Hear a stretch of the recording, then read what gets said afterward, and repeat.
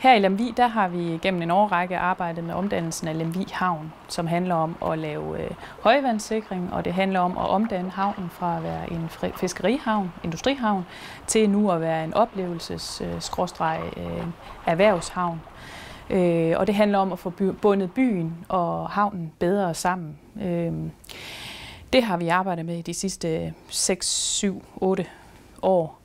Og øh, vi er fortsat i gang med at, at lave et projekt sammen med Realdania, hvor vi lige har haft en arkitektkonkurrence med øh, fire deltagende øh, landskabsarkitektteams med, øh, med entreprenører.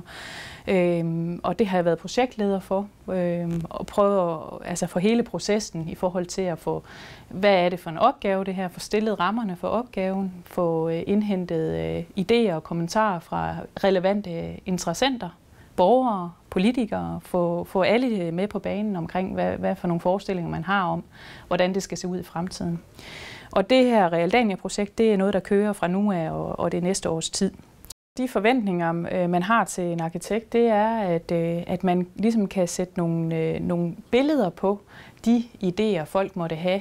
om det er en bygherre til en bygning, eller det er nogle borgere til, til omdannelsen af en eller anden af byens pladser, torve øh, eller grønne områder så har øh, man en forventning om, at arkitekten kan bidrage med øh, at slå nogle streger simpelthen, så man får et fælles øh, sprog, en fælles referenceramme i forhold til, er det noget i den her retning, vi gerne kunne tænke os at, at gå, eller skal det være lidt mere herover? Skal den her plantekumme, skal den stå her, eller skal det være nogle andre fliser og sådan noget? På den måde kan vi være med til at konkretisere øh, borgernes idéer, og på den måde kvalificere projektet yderligere der kommer noget mere dynamik ind i øh, et projektforløb, øh, når der kommer andre øjne øh, med andre vinkler på sagen. Så det, det er sådan egentlig det, jeg synes, der er den største forskel ved at være i det, i, på en privat tegnestue, og så komme til en kommune, hvor der er mange fagligheder samlet. Når man er på arkitektskolen, så arbejder man også i projekter. Og i hvert fald da jeg gik der, så handlede det meget om øh, processen. Altså, hvordan kommer du fra A til B til C og så videre øh, til et slutprodukt? Øh, hvad er det for nogle valg, og ikke mindst fravalg, du har gjort dig undervejs i processen? Øh, man bliver sådan trænet i at være skarp i at argumentere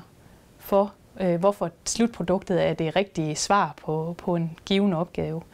Og det er noget, man hele tiden og igen også skal bruge, når man er øh, bare menig med ansat i en kommune, men også som leder, at man hele tiden skal kunne argumentere øh, over for politikerne, som jo i sidste ende er dem, der skal sætte penge af til de projekter, man kommer med og, og vil gerne have sat i søen. Øh, men den skal man selvfølgelig også kunne bruge øh, tilbage til sine medarbejdere og forklare, at øh, nu, har, nu er I kommet med det her øh, forslag, og politikerne har så øh, sagt, at det, det skal så være på en anden måde